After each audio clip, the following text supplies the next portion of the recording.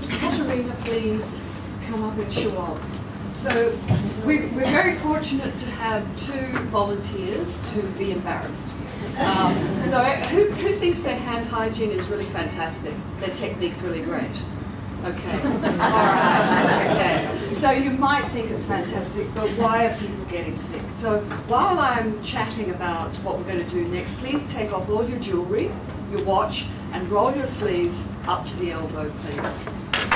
Okay, so Katerina and Schwab have actually used a special um, glow lotion, and they're going to wash their hands with uh, water, just water for 20 seconds, and soap and water for 20 seconds.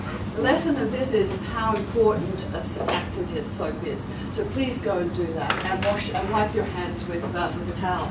Now you all have the alcohol-based hand rub, either the big one in front of you or the little one, and if you don't have a little one, they're, they're taking home, so please um, put your hand We on all need one. one. Love alcohol, Yeah. it's going to save your life. Okay, so you'll have all seen, you'll have all seen the WHO technique, the seven poses. Um, on your table, I've given you two types of hand hygiene poses. Um, the- it says here for lotion, soap and water. You can use it for alcohol-based hand rub. And the reason I've given this one is the other ones didn't have the seventh step, and that is to do your wrist. So we're going to go through this, and you're all going to practice, and you're going to get a buddy system. You have to cover seven areas. Now, WHO have developed a dance and etc. Uh, and it's very cute, but I don't, we don't care which order you do it in necessarily. But what you have to do is cover your hands. Now, um, we're going to go through this one, and this is the one with uh, something like like this. Okay, so um, Margie will. We need to get it under our nails. That, that, that's why we're not doing palms first. Get it under your nails first because that's where a lot of the bugs are. Okay, so she's So, she's nails, pushed her nails in, and then she's dragged some of it to the other hand to then roll your nails underneath. Yeah, and don't forget your monkey grip for all the cuticle around the back there. Then the only way I know to do it, and I can actually give a lecture while I've done it because I do it so regularly, the same that I never miss a part, is you can do your five by five, then your webs, then you go to the back of your dominant hand, Pete, a non-dominant hand, then you go to the back of your dominant hand. People One- often forget that one. One second. WHO says to go at the back of your hand through your webs. Now, what is happening in um, something like Ebola is you've missed the top of your fingers. So we've mo- modified it to go top of fingers, then, Then open up your fingers, and do the same on the other hand as well, and then open your fingers. Okay? And then never forget your thumbs. Quite often people see me coming and want to do it, uh, they're doing an audit, they're rubbing really hard, but they forget to do the back of their dominant hand and their thumbs. So your thumbs and then your wrists, and you must do all of those every time. Now, if you don't have a ritual, what you do exactly every time, you'll forget one when you get distracted. Can I go and practice this from now and forever? So you do your non-dominant hand normally first, and then your dominant hand. And uh, what the problem with that is, is that your dominant hand does all the work, and by the time your non-dominant hand go, goes to clean your dominant hand, it doesn't do it nearly as well. So please be very mindful of your dominant hand that it gets a cover. Yeah, because that's when you're contaminating the most.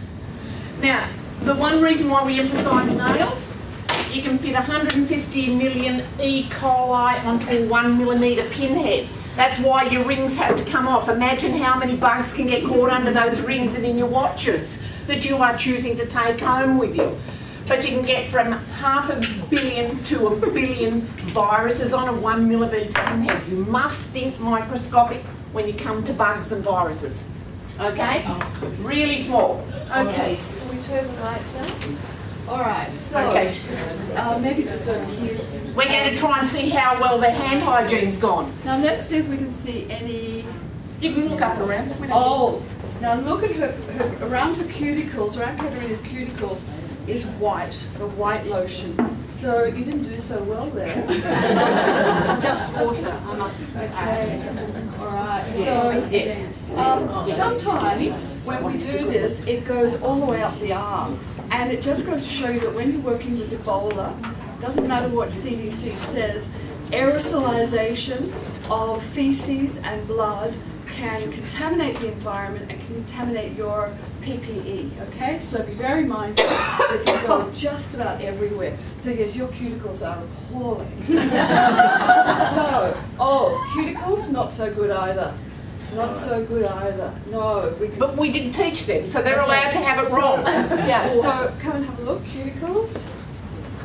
We sent them out while I taught you the seven steps. So, yes. Now this is what we want you to remember. Where, wherever you have that left on your hands, you can actually take it home with you. Oh dear, I'm a bit tired now. Or, oh dear, it's a long paper I'm reading on that computer there. Oh, now look at this. We've got it all over her, her gown. Yep. You managed to splash it quite yeah. well. But that's what we do well done. Okay. All right. So let's turn the light back on. So um, Reiner keeps a very tight ship when it comes to time. Um, so we'll try uh, and practice one more time and I want you to turn to a buddy and watch each other and if you forget the steps I'm going to now we cut and pasted this in the order that we think it should be Okay, so you can watch this one or you can do the other one as long as you cover your cuticles. You go like this, then this, open up your hands, on the other side, then open up your fingers, then your thumb, and don't forget the tip. I'm always very bad at the thumb. Then this, then see I've run out already and mine's dry already so Yep, and then drag it over. One, two, three, four, five. One, two, three, four, five. One, two, three, four, five. One, two, three, four, five. One, two, three, four, five. One, two, three, four, five. One, two, three, four, five. One, two, three, four, five. One, two, three, four, five. One, two, three, four, five. So I can do it. I have enough if I do it for five. Yeah. Okay. But any more or any slower, it dries out. And then you have to wait until it dries. My good friend Dr. Craig Bootless, who's an infectious disease doctor, picked me up on missing one part. So if you go out, you'll be able to do it. He was right. He said, Margie, show me how you do it again. He said, that part of your thumb. He said, I thought I was perfect, but I missed that part of my thumb too. His solution, which is right, is instead of going straight to your back of your hands like that, do it with a side way and do down the side of your thumb and then, you know, so you're doing it that way and looking up. Otherwise, it's just one part there that doesn't quite fit under. Yeah. And, you know, if you're playing with significant bugs, you can't afford to miss. Yep. You could just be reflecting that you keep missing the other side. Yes. You do. Yes. Your dominant hand wants to do all the work. Getting that way enough. Yes. Yeah. Okay, so this is a classic, and if you go onto the web, you can find many of these that show the same spot of weakness. So this is your dominant hand, your thumb. I always miss my thumb. Your cuticles are, are a red hot spot, and that's where you're going to be putting them to your face, uh, putting them to your eyes, okay? So it's very important to reduce your risk of infection. So just while we wait for uh, our colleagues to come back, uh, who has not heard of the five moments for hand hygiene? Okay, so you've probably heard of them, but you may be a bit confused about them because they are quite tricky. But Margie and I have reduced it to the thought of you cleaning into your gloves, you clean out of your gloves. You clean into the room, you clean out of the room. You clean into an aseptic technique, you clean out of an aseptic technique. You clean into, um, you know, whatever you happen to be cleaning into, okay? So these five moments pertain to, and we always teach hand hygiene to look after the patient. But in this particular aspect, we're looking after you. So we flip the coin because we always talk about the patient, but we're worried about you during Ebola. So the patient will, I'm sure, not pick up another hospital-acquired infection if you do this as well. Nevertheless, uh, uh, you know, we're, we're here for you. So you, you clean before, and you can clean while you're walking towards the patient. This should be, alcohol-based hand rub should be at point of care, no further than point of care. That is the definition of an arm's length. So you're cleaning towards the patient. Even if you touch just the patient's bedding, you have to clean in and then you clean out. And that's called moment four, after you've touched the patient. But moment five, I think will be very underestimated and very important in Ebola. You're cleaning out of the patient zone. So particularly patients who are wet patients, wet Ebola patients, they've got diarrhea, they've got vomiting. Uh, they're the patients that can contaminate the environment, uh, and this is where you really, really need to do your moment five. Well, my fear for moment five, gee, my glove is torn, I'll go over to the trolley and get a new one, and you take it off, you go go to the box and you contaminate the whole box with Ebola. So before you go and pick up equipment, you must make sure you clean it. Don't contaminate your... So the five moments, you understand them, even if the patient is sitting in a chair, it's still five moments. And for you, moment five is so important, and moment one, of course, is important for the patient. But just keep thinking. You have to do these moments even when you're caring for an Ebola patient. Okay, so you've seen this before, um, but the thing that we love about this is that it talks about hand hygiene constantly all the way through. Every time you take an item off. Now, this is only a few days old because previously Rainer has shown you some of the uh, doffing that didn't include covering of the hair and didn't include hand hygiene between each step, and now it does. Now, for this uh, person, they're using 0.5 uh, bleach, 0.5%. In the community uh, in Liberia, where we have a, I have a PhD student, they're doing 0.05, but here when you're looking after patients, it'll be 0.5. Okay, so we've got another experiment. We, let's turn the lights off. Um, while we were going around uh, supposedly giving you um, these uh, printouts for how well you were, you know, how to do your hand hygiene. We were dusting the environment as well with a plastic fluoride particle so that we could see how this is spread onto you. I'm sure that Ryan is keeping tabs on me for time. Okay, so what have we learned?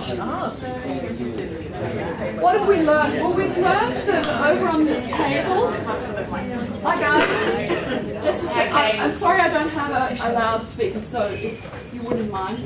So what we've learned is that people touch their face without even knowing it. And we've done a little study uh, looking at people touching their faces, and it'll come out in the um, uh, American Journal of Infection Control soon. So that you touch your eyes about three times an hour, you know, on average. Your nose three times per hour on average. Your mouth four times. Chin four, ears once, neck once. Not so great, not so problematic if it's just for a, you know, a stat, and probably a third of you already have it. But if you're talking about Ebola and you're doffing, your body has to remind you constantly not to touch your face. One of the best rules, do hand hygiene. Whenever you go to take anything off from your face, your hands are going up near your face, do hand hygiene so nothing falls in. Okay, so um, Katerina allowed me to use this slide uh, because I think it really um, emphasizes this. She says, so this is Sue Ellen Kovack, uh, the Australian Red Cross nurse. No food's allowed in the low risk area. It's too risky to put anything near your mouth from your hands. But I still see people biting their nails, touching their face, as we've seen, rubbing their eyes, risky but automatic response, and it's just human. You ha your hands have been washed a trillion times with chlorine, but still you don't know how safe your other colleagues have been. They may have contaminated the environment, even the low risk environment as well. You are literally entrusting your life to your workmates. Before I left Australia, I took to wearing a rubber band each time caught myself and she would snap it. So be mindful, very mindful of where your hands are traveling. So what's wrong with this? And This is a person that's completely um, uh, donned and that I've put this person in the wet zone. They're in the Ebola wet zone. What's wrong with this picture? Yeah. So hands. When you get in there and you've put your equipment on, as Katerina tells you to put the equipment on, do not touch it, do not adjust it, and don't touch your mouth as well. Um, and you've got to practice. So hopefully, your name will be on something so people will know who you are. But you have to practice being able to understand and talk to people through the mask because our, our PhD student who's over in Liberia says that she often saw somebody take their N95 and put it on top of their head to have a chat. So please don't do that. It's just normal. That's Yeah, human during France, nature. someone that- from the Ministry of Health said, ask everybody why they step off the plane with a mask. And as soon as we said that up and walked up to them and asked them a question, they put their hand on the outside of the mask and put it up and said, what did you say? Now Chinese did this during the start. So Yeah, it's, it's just be careful of those things. It's, it's natural instinct, you know? So, um, if you're going to wash your gloves, um, CDC recommends using alcohol-based hand wipe on the gloves between each patient and between each of five moments. You don't take your gloves off. Um, if you're wearing, if you're using 0.5% bleach instead of alcohol-based hand wipes uh, because you're in Africa, then remember the bleach, as Katerina has already mentioned, can um, affect the uh, integrity of the glove. So regularly check the ability. Now, Schwab has gone through where you can find the virus, and this is just to remind you that it can be found in nearly everything. Um, it can be found on stained gloves, um, intravenous um, IV sets, uh, tears and skin. Strangely enough, they didn't uh, find it in urine, but that's because it was a small study. The Emory Hospital has found it in urine and skin and vomit as well. And when the patient vomits or has diarrhea, it can be uh, very watery, very explosive, and it can contaminate the environment, and that's your environment. WHO also says it's now in vomit and maybe They saliva and tears. sweat into this one. They don't Yeah. say it's in there, but they've, in standard precautions, we say all body substances are potentially infectious except sweat. Who have not? They've included sweat as a potential one. Okay, so um, remember it can get directly into your eyes and mouth, but indirectly through your hands. So CDC talk about direct um, contamination, but we're here today to remind you that indirectly through your hands is is really important. It's an unappreciated, I think, um, issue. So you can contaminate your hair with blood or vomit, or even, as Katerina said, as you're taking um, the, the uh, mask off. Uh, now, what I did see, So it's not, It's not me. They're not wearing hair, hair nets. I mean, I saw some in some of those pictures. You actually do cover your. your They do. when you put the that's right, on. they should.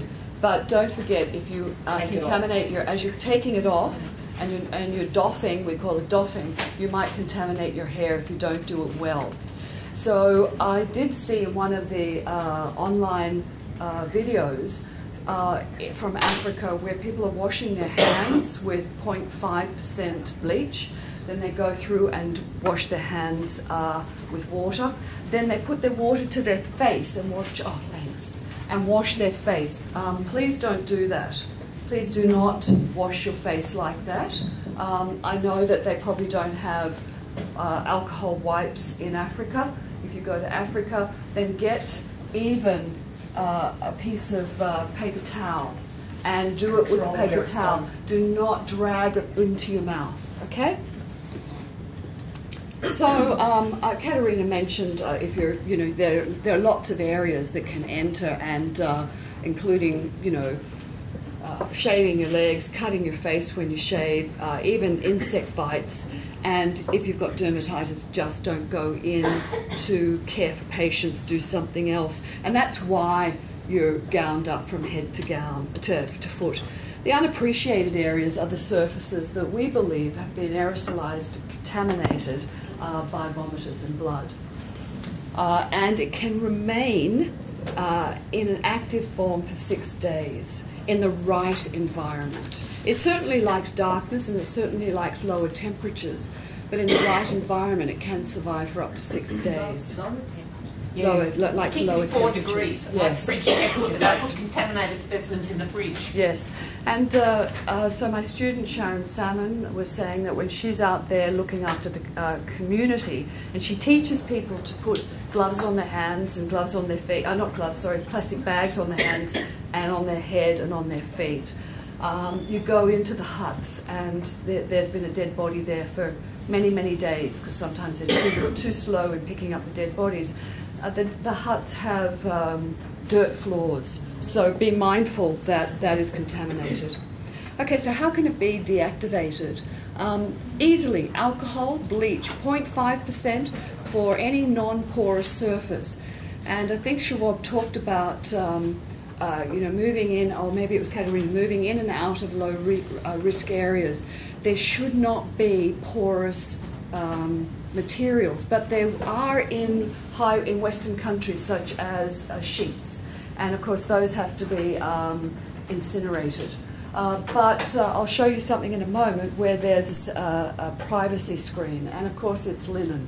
Uh, it should be plastic if you're going to have many people in the room. Um, and uh, we'll we talk about EPA, and, and that stands for Environmental Protection Agency. It's the US standard for hospital grade um, uh, disinfectant, and we use a similar hospital grade. It's, um, it, it is uh, deactivated with heat, boiling, autoclaving, and incinerating, and you can um, wash the sheets if you really want to, but the problem is it increases the risk for the healthcare worker or the, or the laundry staff. Um, it can be uh, killed with um, gamma radiation and UV light.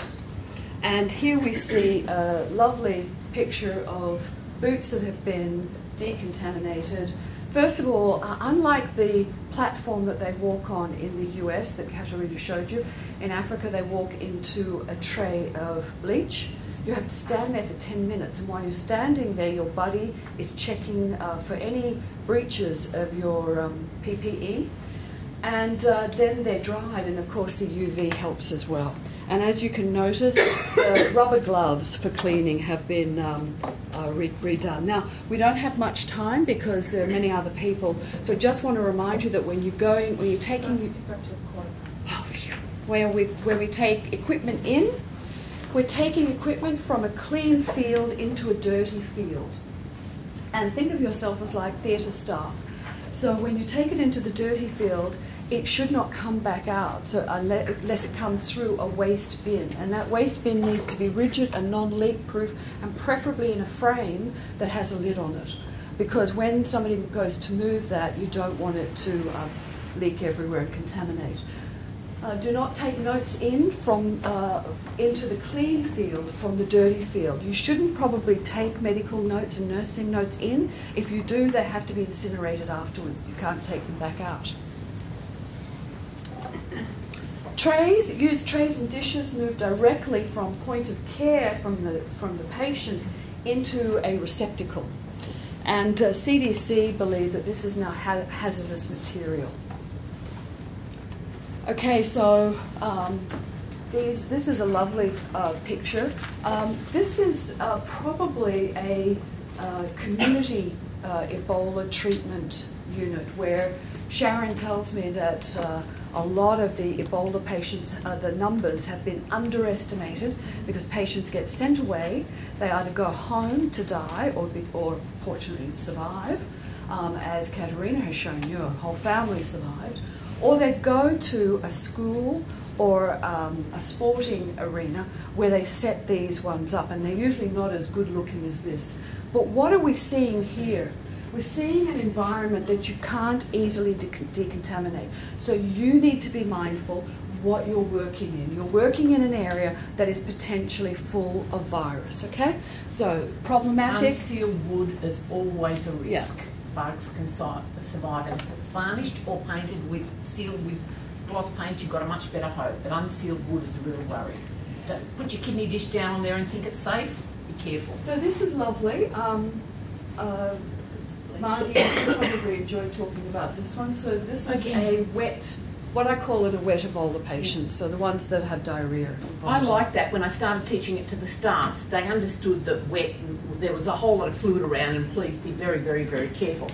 This one is where we have to concept. We are used to, as healthcare workers, having aprons on and knowing this is the dirty section, this is where we have it.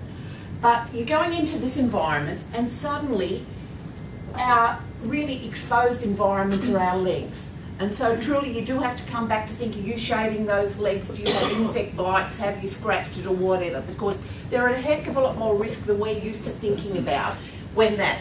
The good part about that though, when a patient is down and vomiting, there's less risk of you when you're standing up of, of getting it, but compared to as if they were much closer to your face. That's one plus, but remember that's a huge risk.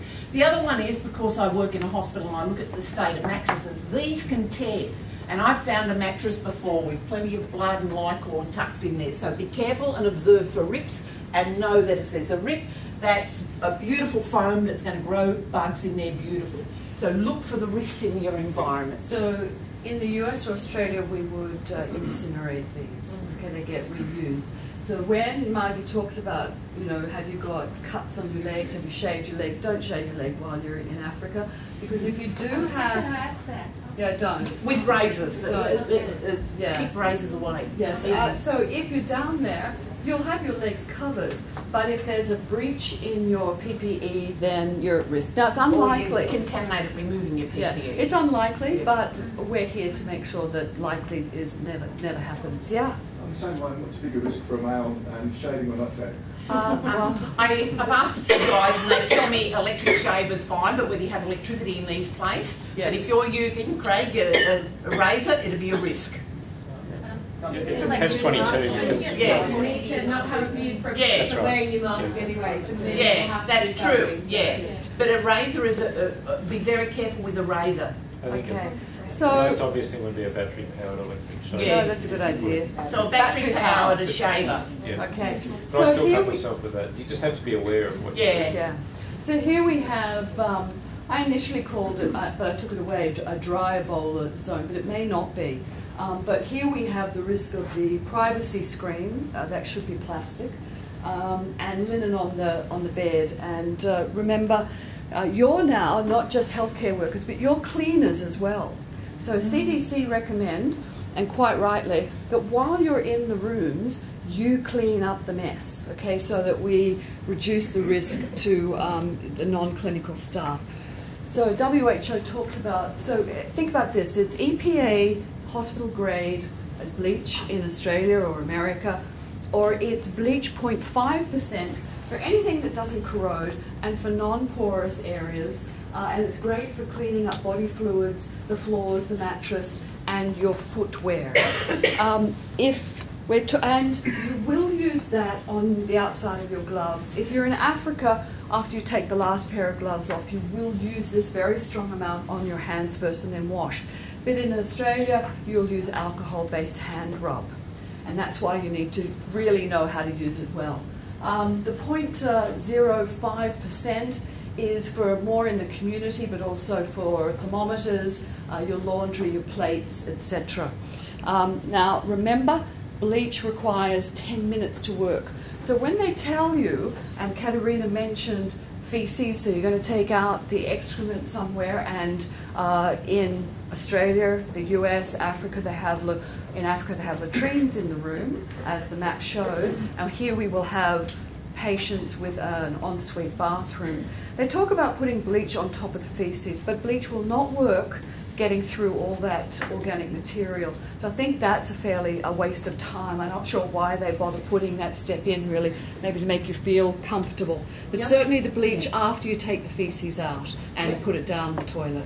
The other thing about bleach, it has a very short half-life and it's light sensitive, it breaks down in light. So you can't Yes. make it up and leave it there for a few days, you know, and, and out in the light. It breaks down, its ability to kill bacteria breaks and that. So you make it every day and, uh, and it gets contaminated as well. That's, remember Milton, for those mums that had the bottles of Milton's, why we had to do that. Okay, so Katerina's always mentioned, already mentioned, don't touch the door handle. If you've got, if you can, if it's got a handle, not a push, get your buddy on the other side to open up, and you should not have your patient in a room that you don't have a glass in the door. Um, and on exiting uh, the ante room, uh, the first action should be if you uh, don't have a mat or you know if you, if you, a basin of bleach, uh, certainly in Africa, but here it might be directly on a mat. But if you go into an ante room and you're going to, to remove doff, you're going to have to make sure that you keep one area dirty and one area clean, okay? Um, standing in the bleach, uh, you can get your buddy to, to check you in Africa, um, or while you're standing on the mat, you have somebody to help you take your gear off. You should not do it by yourself ever. And they should check to see whether or not you've got any breaches. And what they'll do is, unless you're wearing your, your plastic hood, your PAPR hood, etc., they won't spray you down. They'll wipe you down with alcohol-based hand uh, wipes um, uh, and or an EPA detergent. Um, bleach, sorry, to remove any blood or, or fluids. You've got a couple of questions. Oh, yeah. So we've talked a few times about having assistance in doffing, but how does your buddy get their gear off? Well, they don't have much gear on. They have gloves on, and yeah, yeah.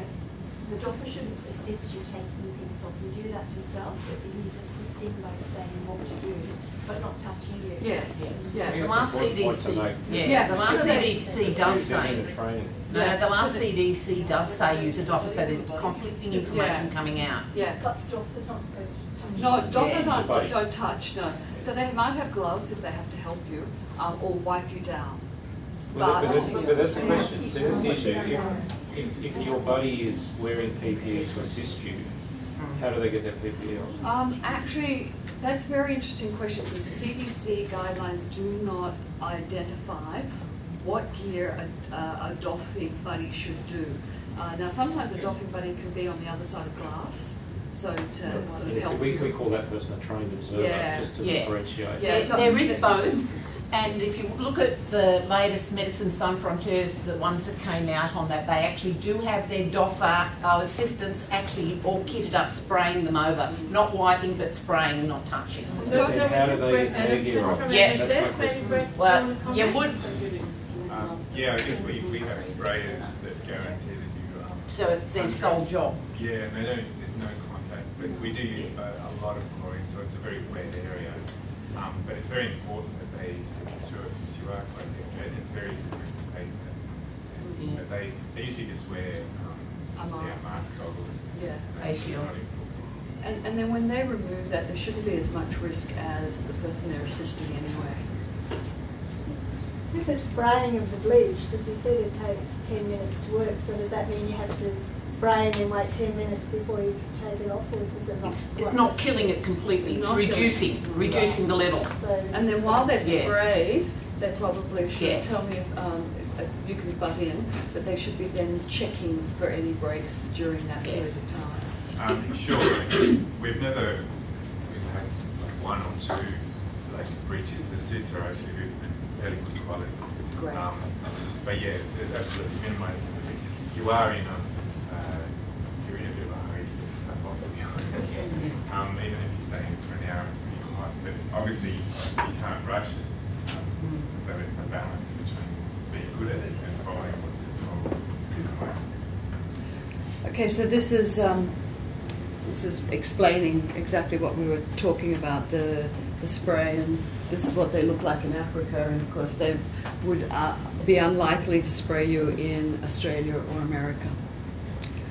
Okay, so laundry. Um, CDC recommend not to launder, um, but if you do need to launder uh, linen, although there might not be any linen, um, do you, did you have linen? Yeah, Yeah. we do, a laundry. Okay. So you just, just, So you have to scrape off the feces or whatever there is on it, vomitous feces. Um, you don't ever hold the laundry against your body at all. You keep it at a, at a distance. You put it in a, a leak-proof bag and you take it to be washed with detergent and water and rinse. So you do that first. You do a clean first, then you do a disinfectant with uh, 0.05 chlorine for 30 minutes and then dry. please interject. Yeah, yeah, we dispose of anything would just- Yeah. Okay, so um, if you don't have a washing machine on power, CDC do not like the idea of you doing the washing by hand, but if you uh, insist or you have to, um, they suggest that you, of course, use a stick um, to to move it around. Try not to splash at all. Be uh, you know, So you took the, that's very, she's so hard, she's put her glasses up the top, and that's very risky. When I've been working with people who have got AIDS and dying up in Papua New Guinea, what they actually did there is in a smaller bucket, not a big open one, they actually had like a drain plunger which they actually used and it really cleaned things better than anything, but your eyes were a long way from it. So they just used that and it worked very well with people who, in the last stages of AIDS and who were, you know, needed that done, it worked very, very well. So they should wear rubber gloves, um, and on removal they should uh, hand hygiene. So any objects that are contaminated uh, in a patient's room with blood or excrement or vomit uh, should be cleaned up as fast as possible. And um, then if it's in a container, then you should be removing the bulk of it and then putting bleach on it. Now they say put bleach on it and cover it and then uh, discard it, but that's not going to do anything through the protein. It's not going to help at all. So get rid of the majority of it into the latrine and then uh, rinse uh, the container, wash with soap and water and discard that down the latrine and then bleach it in 0.5%. If it's on the floor, don't spray it. Um, bend your knees, pour the bleach onto it very gently, cover it completely, let it stand for 15 minutes. And then remove with paper towels and discard this as infectious and hazardous waste. And then wash the area with soap and water. Mary Louise, question. Patient in hospital using a toilet, what should we do? There's still a lot of discussion going that um, New South Wales Health is having a discussion. They've actually bought a lot of pans and the disposable ones, but they're talking They've got with disposable pans. Wow. yeah, yeah, and urinals. Um, made out of a paper, a cardboard one, they exist, but they're having discussions with the waste people and water boards, and they're, they're officially happening at a higher level. So we have to watch we that at space. Westmead, which is a referral centre. Yeah, And that's that's not sorted yet. No, it, they're still working with the um, sanitation people and all that for that, So but it's in progress. No, there's no ruling, ruling on that one yet. there, there certainly was a lot of talk in America about it, and the infectious disease physicians decided that it was okay. Um, but Yeah. then the sewerage people thought it was not okay. Others. Yes, so uh, the decision's are still pending. So it's with the authorities in here still. Okay, so now I'm going to just move into quickly um, the. Uh, we've talked very uh, extensively about removing uh, your PPE, and this ante-room should be preferably attached to the room when you're looking after the patient, that it is a separate one.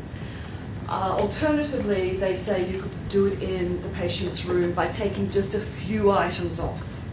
Um, and you need somebody to help you, and you need to be able to hear them so that they can advise you as you're going through just a few. Or develop the hallway. And during SARS, um, the hospital that I assisted to look at why healthcare workers were getting SARS had dedicated the whole foyer, but had demarcated where there was the clean zone and where there was the dirty zone.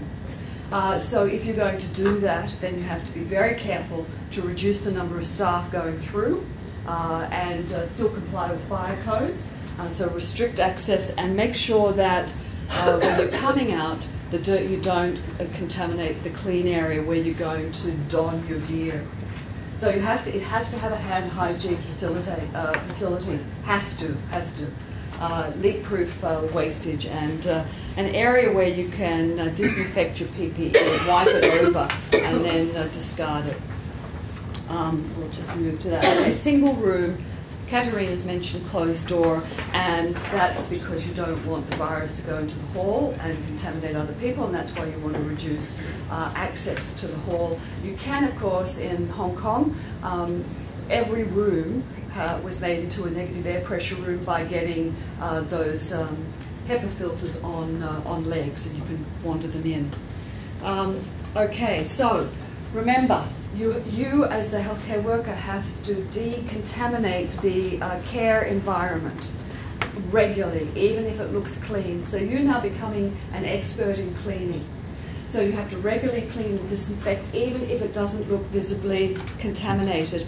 And, and by the way, when somebody uh, takes their gear off in an ante room, it has to be cleaned immediately. Okay? So uh, if the patient has a spill, it has to be cleaned immediately. If the room is clean, you have to clean it on a regular basis. Um, and uh, it's only going to be cleaned by the nurse and the physician. Uh, that's the recommendation, certainly in America. So, be very mindful of high touch surfaces and particularly um, horizontal surfaces. And uh, as they call them, housekeeping surfaces, floors. Uh, before you disinfect anything, it has to be cleaned. Um, Margie, would you like to tell them about the cleaning method? A disinfectant doesn't work if there's a lot of protein. It has to be a two-step process. You clean it first and then disinfect it for most things. So, um, you, yeah, before you, you just can't pour bleach on or the clothes or the bed, you have to clean it first, then disinfect it with whatever you're choosing to do. There are a couple of chemicals around now that are have the two, two in one, but there's not many of them. Most of our, um, many of our products, uh, if you look around the hospital, are disinfectant or a disinfectant only, and it doesn't work if there's a lot of protein there. It, it just can't break that much down. So you have to clean it first, like your hands as well. Then you put a, you know, if you had blood or body substance on your hand, you couldn't just use an alcohol. You have to wash it off first. So what you might do is use wipes or a, a cloths that you can throw away as well.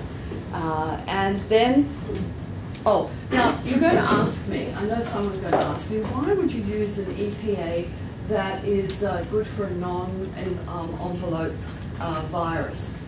Why? Because non-envelope viruses are really difficult um, to, to clean. They can become quite resistant with disinfectant. So if this works with the non-envelope, then it's going to work with Ebola, which is envelope. Okay, I have to go through this really quickly because um, Ryan's going to tell me to stop talking in a moment. So everything has to be disposable and has to go into a leak-proof and rigid area. And just to remind you of the steps that, oh, the steps that Margie has mentioned. So you wipe the area with a neutral detergent, uh, and then you disinfect it with uh, 0.5 chlorine in Africa or an EPA hospital grade disinfectant. And then guess what? You do it all over again. You have to do it twice, okay? And you're going to do it, not the cleaner. Okay, so uh, if there's a spill, you have to debulk it. That's the new word for, for the century, debulk it by removing most of it away into a, um, using a, a cloth, a disposable cloth, and uh, don't spray, and put it into a leak-proof uh, container. Uh, leave for 15 minutes once you put the uh, EPA fluid on it, at least 15 minutes, and then you wipe it away and wash with soap and water. Okay, um, same thing. All right, uh, linen, I never carry it again. Uh, so this is in Australia, or we've learned about what to do in the uh, in Africa. Same thing, we need to move it promptly to an area in that is a hazard bin, uh, because it is now considered by CDC as hazardous. Anything, anything that you use on your patient during patient care um, including sheets, etc., and, and pieces that you've wiped up off the floor, is now considered hazardous material. Uh, and uh, to reduce any uh, exposure, CDC is recommending that you immediately dispose of it, and perhaps this should be incineration. And as Ryan has mentioned to you, the problems of finding a group that will incinerate. This slide is available to you, and it talks to you about the US um, uh, approval of on-site uh, inactivation and incineration. And these are our um, references, um, WHO, CDC, and uh, um, Sans Frontières. Thank you very much.